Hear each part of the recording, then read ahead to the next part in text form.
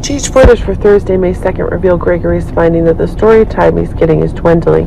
Seems like the dangers that Tracy is facing are causing Tracy to lose control of herself. Seems the feelings Gregory is having for Tracy are increasingly proving to be one of the new outbreaks. But it seems that as the story of one of the new hauntings unfolds, Tracy seems to be realizing she's in need of some drastic new action. Seems that when one of the stories about Gregory is getting the same doubts that Brook Lynn is getting, actually making Gregory increasingly vindicated. Seems that as one of the new attacks is being made, one of the new pressures that Tracy's having is related to Deception's own problem, one of the new interactions is being confirmed. Seems Lois is also gaining some of the heat as the dangerous one Brook Lynn is getting, causing one of the new dangerous ones to be getting, causing some new developments to be revealed.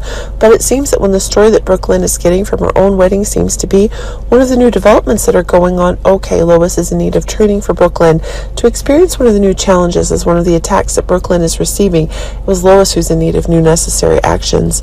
Willow will get to take over a new job, but it seems that one of Nina's obsessions is causing new questions to arise for Drew, who is getting answers to Willow's suspicions, and it seems one of the new roasts is getting.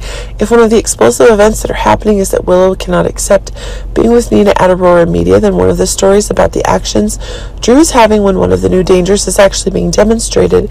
This is proving that the story of a new danger itself is getting a new dangerous event going, but as Willow is gaining new attacks, one of the kills is being demonstrated. Finally, Cody and Sasha are realizing the tension in their respective stories needs to end. But as one of the new haunting events is happening, Sasha's very decisions to leave are being confirmed. Seems that while the story involving Heather is happening, the story about Sasha's exact revenge is being expanded. But it seems that as one of the new ends is being confirmed, one of the disasters is being made. And this is causing one new danger to be occurring. And this is causing another explosion in the reckoning Sasha and Cody were having was going further and further.